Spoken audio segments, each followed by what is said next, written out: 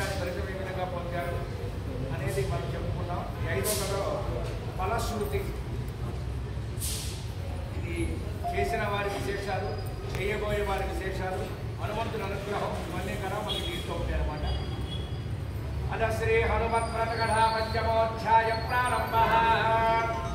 హనుమతో వ్రతస్యాయాం ప్రభావో మునిపుంగవ ధృతో వా భజితో మైత్య సర్వదా విజయప్రద.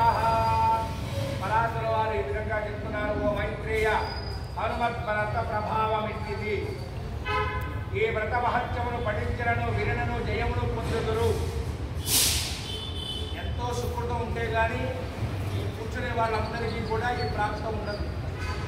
ఎంతో పట్టి పట్టి ఉండాలి సుకృతం. లేకపోతే చలవాటు చేస్తే కొన్ని వందల మంది వస్తారు వేల మంది వస్తారు. ఈ ఉన్న యాభై అరవై మందికే సుకృతాలు. వ్రత కథ వినడం అనేది పూజ ఉదయం చేసుకోవచ్చు. వ్రత కథ వినడం అనేది చాలా గొప్పతనం అన్నమాట సర్వత్ర సర్వ వ్రత బలవరించే ఇంకొక విశేషం చెప్తున్నాను వినండి హనుమత్ వ్రతము వెంటనే విజయాన్ని ఇస్తుంది రహస్యముగా ఉంచదగినట్టిది ఆదివారం హస్త నక్షత్రంతో కూడి ఉండగా వెనుకడి హనుమంతుని పూజించవలని. ఆనాడు ఓ మైత్రేయ మహాముని పంటలు గాని హవిష్యును గాని పాలను గాని ఆహారముగా తీసుకుంటూ వెనుకడిపిన ముద్రిక ధరించి వంద మార్లు భర్తములు వ్రతమంత్రములు జపించవచ్చు. గౌరవములు కట్టుకొని ధరించి లేదా జంజములను తుంచుకొని సాధకుడకు అశౌచి అయి అశౌచాది స్పర్శ లేని వాడై సమిత్ర దేవతకు ఒక హస్తానక్షత్రం అంతెప్పుడు ముద్రికను పూజింపవలను. సంవత్సరం పూర్తి కాగా వేరొక కొత్త గౌరవము ధరించవలను. వెనుక చెప్పిన బంగారంలో చుట్టబడిన ముద్రికను ఒక్కదాన్ని ధరించవలను. ఆదివారం వచ్చు సమిత్ర దేవతకు ఒక హస్తానక్షత్రముల ఏ వ్రతములు చేయవాడు ప్రయత్నపూర్వకముగా గురువును అర్చించి వాయన మీయనకు అట్టించిన వాడు హనుమత్ చెప్పకుండా వాడై ఎల్లప్పుడూ విజయమునందు వాడదు తన రాజ్య సమృద్ధి పుత్ర పౌత్రాధికమును పొందును.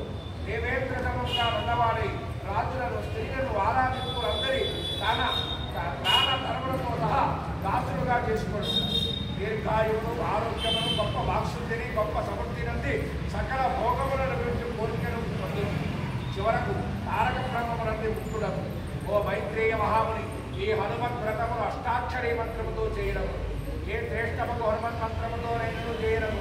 పూర్వము శ్రీకృష్ణుడు రథసారథిగా గల మహాబాహుడు అర్జునుడు హస్తాదిత్య వ్రతమాచరించి అష్టాక్షరవత్రము జపించి సాటి లేని వరమునంది ఎల్లప్పుడూ దేవుడు పొందారు దేవసేనుడు ప్రగశిర ఆర్ద్ర పునర్వసు పుష్యని హస్త ఐదు నక్షత్రమయ్యేందు హనుమత్ చేసి సమస్తములకు శత్రువులను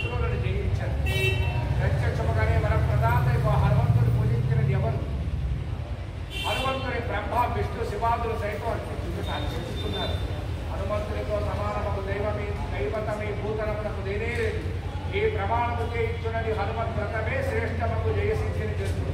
ఈ హనుమంతుడు పూజింపబడటం వలన సూర్యుడు బ్రహ్మ గౌరీ మహేశ్వరుడు జానకిపతి శ్రీరాముడు సర్వ సమర్థులకు సాక్షాత్ నారాయణుడు ఈశాన దేవేంద్రాది దిక్పాలకుడు కుమారస్వామి వినాయకుడు వశిష్ఠాది బ్రహ్మణులు సనకాది యోగులు పితరులు అష్టవసులు ఏకాదశులు అందరూ పూజింపబడు అనగా హనుమంతు పూజ చేసిన పై వారందరినీ పూజించినట్లే.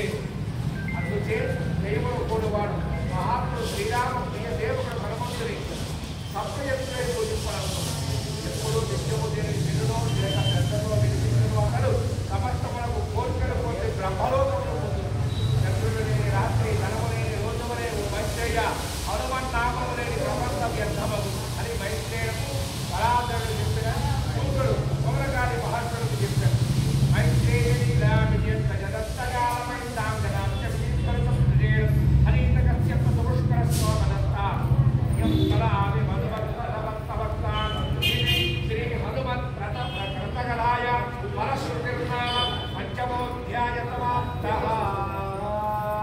राजा रामचंद्र महाराज की।